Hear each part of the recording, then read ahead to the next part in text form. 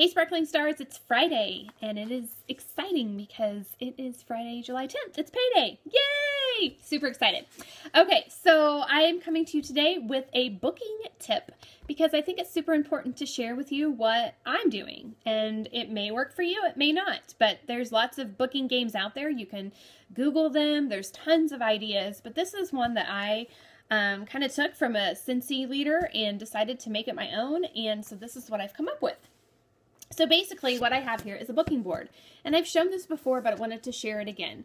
So I have chosen six items that I am comfortable this summer and fall to give away at my parties. These are items that are still in the fall catalog. So I'm perfectly okay with what I've got here so I can use this all fall. Now, as we get closer to spring, of course, I'll change it out. But how it's going to work is at my party, if I've done the backwards catalog party um, script, I'm going to give the first person I'm standing beside the dice. So you need one dice. And I'm going to say to them, okay, so we have one final thing I need to do before I let you ladies shop. Um, I'm going to pass around the dice and I want you all to roll the dice. And whatever number you roll, I want you to write it down at the top of your order form. And this um, coincides with the prize that you are going to receive from me. Um, and we'll talk more about that um, when you come and check out with me. I'm going to leave it at that. When they come with their order form, I'm going to say, okay, Sally, what did you roll? And she's going to say, I rolled um, a number five. And I'm going to be like, oh my gosh, you rolled a number five. Guess what? So you've won a large utility tote in addition to all the additional hostess rewards that we have just by holding your own party. So what party style works best for you? I didn't mention book a party. Notice? I said what party style works best for you. I really think it's all about the way we word things it's much harder for someone to say, I don't want to hold a, I don't want to book a party. If you ask, do you want to book a party? Um, it's harder for them to say no if you say what party style works best for you. And it will take you guys some practice to do. Um, it's taking me some practice, but I'm much more comfortable saying, so what party style works best for you? Because if you think about it, put yourself in their shoes.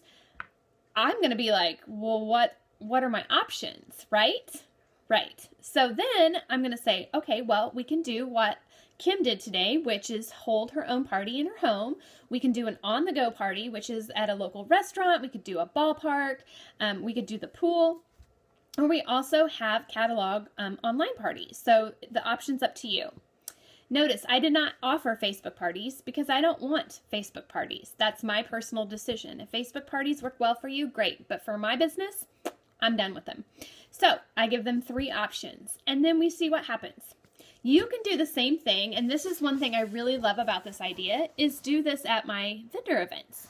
Now, I'm not going to ask every single person that walks by to roll the dice, but if I see someone who is really, really interested in our product standing at my table, I'm going to say, hey, so you want to play a little game? Roll the dice. I will have a special prize for you. And see what they say. My goal at any vendor event is to book a bunch of parties or gain new team members. It is not about sales. And so I really love this tool for that because I have several things coming up this month and next. I'm also doing my July, um, Christmas in July open house next week. And so I'm having women over to my office. And so I'm going to offer the dice to them as well and see what they say. So, wanted to share that tip with you. I hope it works. This document, like I said, is I may have said I've done this video a couple times, so I may have screwed up. Sorry.